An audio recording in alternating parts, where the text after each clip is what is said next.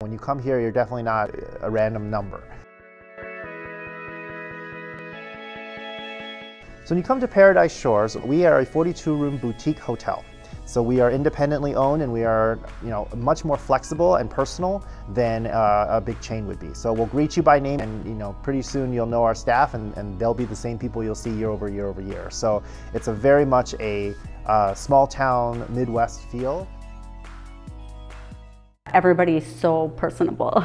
You could stay at other hotels and they might have some of the same things to offer. They wouldn't have the lake, they wouldn't have the setting, stuff like that, but you, are not going to get the personal kind of treatment and stuff that, that you would here.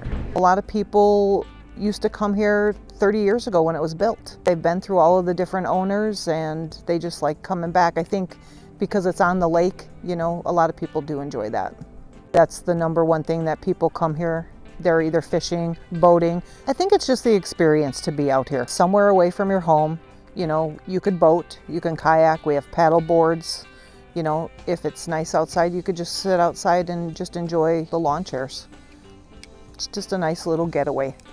So we'll take care of you. We, we meet your needs, we take a personal touch to, to the service. And then of course we offer exquisite fine dining, which I would say no one else really, you know, in the whole 50 mile radius you know, until you get to the big cities, starts to offer the kind of uh, dining commitment that we are, we are providing.